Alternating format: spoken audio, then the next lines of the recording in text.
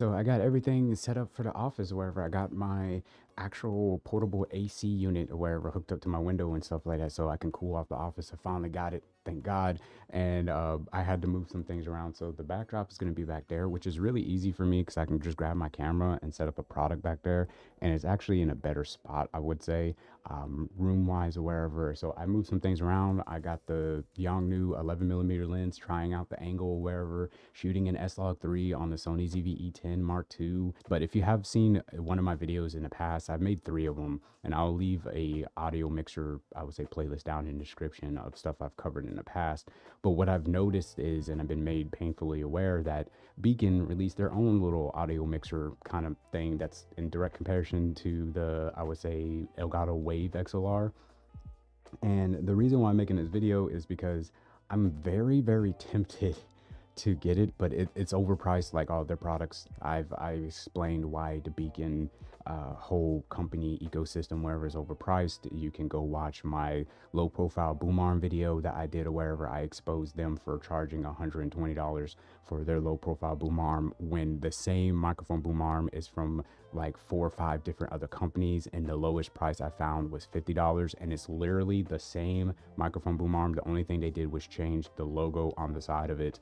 And if that doesn't tell you right then and there that the rest of their products are also overpriced, then I don't know what to tell you. And from what I've seen, regardless of how company, I would say content creators have been trying to hype up BEACN's products and like the whole debacle about how they were in the Discord with EposVox and all that stuff. Like if you if you get into all that stuff, you would know that you know the companies, meh, you know what I'm saying, but the build quality from that little thing or wherever I've seen, especially charging that much, just seeing how some people have handled it, you know, clicking it and everything and seeing how hollow and just bad it like sounds and looks as far as like being cheaply made, especially for the price they're charging. Don't dump on the materials used on gear, but for $249, this thing does feel a bit toyish.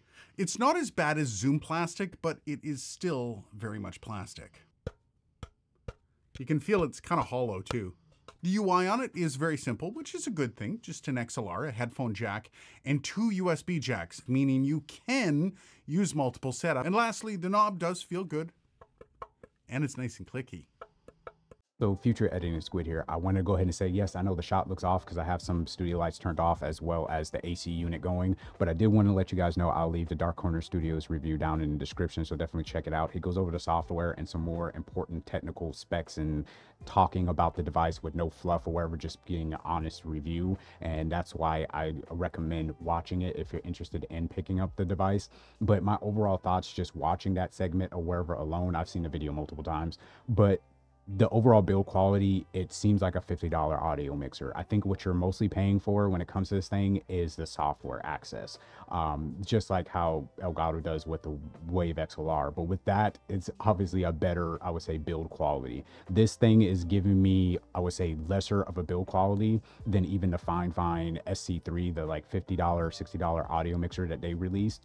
Um, unfortunately, that audio mixer doesn't have software, but that's the build quality on that seems way better than this BEACN Studio at $249. Yeah, $249 for a crappy build quality that looks like a $50 device. If if that. I'm I'm just I'm just being honest. Uh, I don't know how anybody can just gloss over that. And I'm glad Dark Corner Studios did bring out the build quality of it but saying that he liked the clickiness of it and hearing the click or wherever, I, I just I don't know how people can just be okay with it and justifying the price because the software is good. Uh, then why does the physical device need to be two hundred and forty nine dollars? You see what I'm saying? Like it doesn't make any sense. Even with Elgato and their budget microphones that they just dropped, the Neo set or wherever it was, uh, they get access to the software and those microphones and the the stream deck and the webcam like all that stuff or wherever is below a hundred dollars. And yes i have my gripes about elgato but make it make sense. $249 for this thing? I don't know how people can defend a company is doing stuff like that blatantly. I, ju- I just don't know. Just visibly watching regardless on how people try to dress it up it looks it looks terrible in comparison to the wave xlr like the Wave XLR, I will admit that the build quality, at least my personal opinion, having it for years, it's you know what I'm saying? I, I could see that it could be around a hundred and something dollars you know what I mean? I've d- done multiple videos talking about people saying for me to get the BEACN stuff over to Elgato Wave if I've had so much problems with the Wavelink software which I continuously have them. Um, just the other day I was recording a video and I mentioned in the video that it somehow just crashed on my PC. I wasn't aware of it. So I had to go back and re-record a part. And when I went back to go re-record a part, for some reason after I opened up the Wavelink software, it is my fault for not checking and looking, but it's never done that before. But all my audio sources were muted. So nothing was being captured or wherever. It was just the video because I was recording in the OBS. You can see right there. Um, so that's a problem. Like I said, I could solve that by recording internally into the camera as a backup or something like that. But it's like I shouldn't have to do that because I have this set up to where everything is just recorded into OBS. All my camera angles, all the stuff that I do, wherever they're just my cameras are just hooked up to HDMI um, capture cards, and my microphones are going through the cameras. You know, stuff like that, and it just makes it easier and seamless using you know OBS to do that stuff. And obviously, I already have Stream Decks and stuff, so the only thing that I can think of is, like I said, moving my audio uh, choice over to BEACN. And that BEACN XLR system, like I said, is super uh, expensive for what it is, especially in 2024, in my personal opinion, because at that price point and stuff like that, I probably would just save up a little bit more and probably go with the GoXLR like refurbished used or something like that if I could.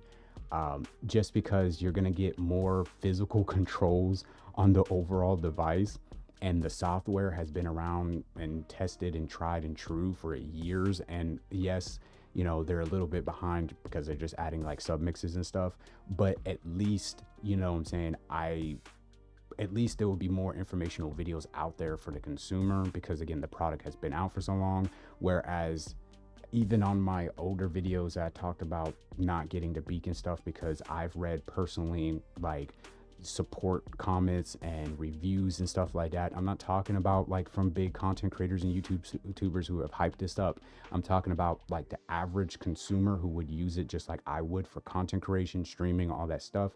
They've had nothing but just really bad complaints about the software and the bugginess of it, the crashing, the, the the blue screening of PCs and stuff, similar to Elgato, but it seems to be worse. You know what I'm saying? But the thing about it is, is that when I make those videos and make those comments, I've been seeing people in the comment section of my videos ranting and raving about you know the BEACN software and their products, saying they're the best thing pretty much since the Holy Grail. You know what I mean? Like, I and I'm like, I don't know if I want to pull the trigger on it because the bad stuff that people have experienced, it outweighs all these glowing reviews. You know what I'm saying? And I'm not one of those people who are going to fall for the hype but from content creators or wherever out there. But every time a company like BEACN or something like that releases a product and they target specific content creators only to review their products so they know they're going to get those positive reviews again because they're brand safe and you know they don't care about the actual consumer while in all this stuff because they're getting the products for free and that's how they keep up you know their their bad reputation as a content creator or whatever but people just they fall in love with these guys for some reason. When they do that kind of stuff or wherever it's it's a, it's obvious to me you know what i'm saying? I don't think you need to take you know psychological classes like i did or whatever to, to deduce that these people are, are you know lying straight to your face but apparently the common person falls for it all the time and I've seen the comments where people said, you know, I fell for it because, you know, X, Y, and Z content creators said I should get it. Everybody was hyping it up, you know, because it was from the GoXLR team, all this stuff or wherever. Pretty much everything that you see in a glowing review about it, people fell for it. So they end up purchasing their microphone, you know, the the the mix create, whatever it is, and now the studio coming out and everything. But the thing about it, and the reason why I kind of want to try it, is because at this point, dealing with the Wave uh, One microphone and having its issues and problems with the Wavelink software, and then upgrading to the Wave XLR and having its problems and issues with the software, and even close friends of mine that you know I stream with, I play games with, and stuff like that that I know in the community, they never have a problem with the Wave XLR stuff. So I don't know if it's just me, you know what I'm saying? I've looked up and made sure that I wasn't making any issues or faults or doing anything wrong. So I can assure you I'm not. Um, especially being somewhat of a, I would say, software savvy person because that's pretty much what I did in the military for, you know, my extent in there and then being a streamer and content creator for so long, working with software and stuff like that. I'm not like technology uh, technological like illiterate you know what i mean like i know what i'm doing it's just when the only thing i probably don't know really is cameras because i haven't really messed with cameras or whatever but i'm getting into that learning that probably like pc hardware that's about it but software it's it's easy for me. You know what I'm saying? Give me a few minutes to hours or wherever and I'm I'm I'm gliding through stuff. That's what's kind of making me wonder should I go with the BEACN stuff and try it out?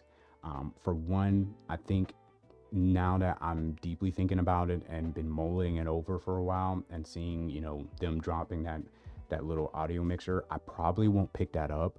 Um, I'm still debating on just using the Wave XLR and having it over here on my studio desk so I can use an XLR microphone to record my videos and stuff and still have my sub mixes and everything set up. But what I would use is their actual microphone for streaming. And that's because, you know, everything is done on the microphone or wherever through the USB. I'm going to have to have the software open anyways. And that's why I was like, if I move the XLR over here, that's going to be another software I have to have open wherever when it comes to the BEACN stuff or wherever. So it's like, should I just kind of convert over to getting the BEACN studio thing or wherever as well as the microphone? So that way I can have the microphone over there and I can have a dual microphone setup or whatever because I can have the XLR microphone over here. You, you see what I'm getting at? Because right now, in order to run this microphone, which is a wireless shotgun microphone, I have to have the microphone itself or the wireless receiver plugged into the camera and then being brought into Wavelink and then it's uh, EQ'd. You see, you see what I'm saying? Or any other microphone. Or if I wanted to use a traditional microphone over here, like a dynamic condenser, whatever it may be, I have to run a super long XLR cable all the way over to my desk, unplug this microphone and then plug it in and then record over here. You, you, you see what I'm saying? So I wouldn't have to do that if I just had the BEACN system over here and then had the BEACN mic over there and just use the BEACN software. And when it comes to controlling the sub mixes and stuff, unfortunately, like I said, that BEACN mix create is super expensive, but I mean, at that point, if I had the microphone, you see what I'm saying? So you get trapped into the ecosystem, kind of like with Elgato or just any other company who kind of does this whole ecosystem support thing or wherever that they do. I don't know. That's my thought process. That's why I kind of want to try it out. But when you sit there and you add up all those things and you see how expensive that is, you, you see what I'm saying? And just can't pull the trigger on it because knowing that their stuff is overpriced you know what I'm saying? Like I said before with their low profile boom arm being $120 when there's multiple different companies who have the same microphone boom arm and the lowest I found was 50. You know what I mean? And then on top of that, like I said, my comment sections when people have said negative things about the BEACN. And not only that, but seeing the, all the negative reviews out there.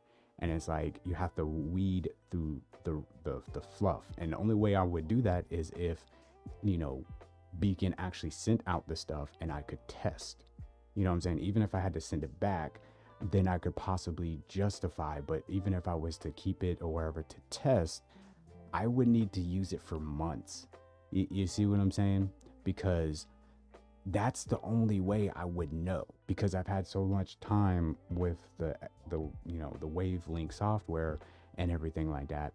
It's like it might be good for a couple days or a couple weeks, you know what I'm saying? And then I start seeing the flaws. But by then, I might not know because if they send it out and they expect it back, you, you, you see what I'm saying? And on top of that, because I've talked about, you know, the overpricedness of their products and stuff like that. Nine times out of ten, that company ain't gonna work with me. You know what I mean? They're not gonna want to send anything out. Like, I'm not expecting the company to like win me over, but it's like I want the product just to work. You know what I'm saying? I want to be able to get these tools and just be able to do my job.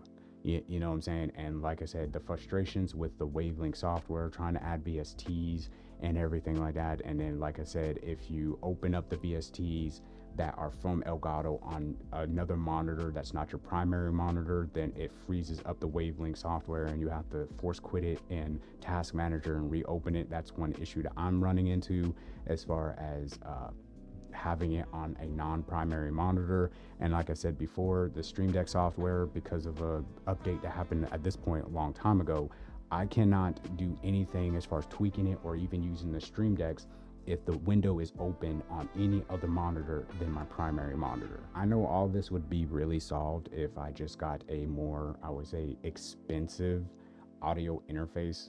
Like, like I said, the Mackie DLZ Creator XS, that's the one that I think would be my entry level into that kind of mixers or wherever. But like I said, that thing's so expensive. You know what I'm saying? And, and that's why I just picked up the Sony ZV-E10 Mark II because I feel like I'm going to get more use out of that or wherever and I can really justify the cost of it because that thing is just going to sit on desk. It might be nice and all that stuff, you know, multiple microphone inputs. It has pretty much everything I need. It just doesn't have software for the submixes. So I still would be having to use the Wavelink software.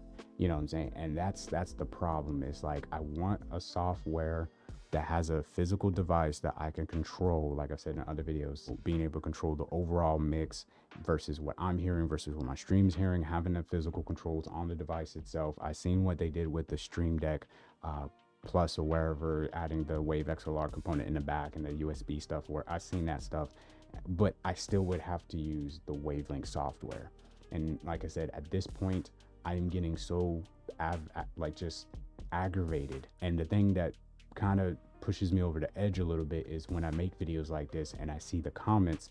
There's so many people saying that they never have an issue with any of these products, and I'm like I always say, like fine, you know, it's good for you, but why is it always got to be me having these issues? You know what I'm saying? Why is none of these companies rectifying this, or why am I seeing nothing but these, you know, fake content creators faking the stuff wherever for the brands and everything like that, and not really telling the consumer there's going to be problems and issues and there's glaring problems issues. Like i said with the elgato Wavelink software that is a glowing issue to have. That's not acceptable. You know what i'm saying? As a content creator as a streamer stuff that's not acceptable. The complaints about the BEACN software and all this stuff and how much both of these companies are charging for their devices just to get access to their software and stuff that stuff is not acceptable and people who are reviewing their products are just brushing them off. Like if you watch one of them, I'm not even going to name the guy's name because I've showed him off before in another video. But if you watch one of his review or wherever of the little new BEACN thing or wherever, he talked about you know some of the cons or what people were complaining about, like the microphone or the software and all that stuff. And it's like he just kind of glossed over it, kind of like yeah, whatever, you know. And they said this, but it's you know what I'm saying. I'm like you can't downplay people's bad experiences on overpriced products that you're trying to peddle. You, you know, you know, it's just because it's to this point to where these devices are just the prices are just going up, and the return on investment, as far as from the software, to build quality, what the device can do, literally for streamers, content creators, all that stuff, the that quality is going down. But the prices of these devices are going up, and I'm just sitting here like, why? What are you? What are you giving me? You know what I'm saying? What are you giving me that justifies paying 200 and something dollars, 100 and something dollars? You know what I'm saying? Like, what am, what am I getting? I'm just getting the tagline this is for streamers, this is for content creators. I, I, I don't know. I don't know how people fall for it, but hopefully, you guys continue to have a squid-tastic day. If you found this video, you know, informational or informative in any way, shape, or form, consider leaving a like. If you're new to the channel and you want to support me, consider subscribing or even joining the channel as a membership. Thank you to the members that I have already. Um, you'll get added to the video as you know people join and everything like that. And with that being said, y'all take care. Have a squid-tastic day. God bless you and yours. And deuces, everybody. Much love.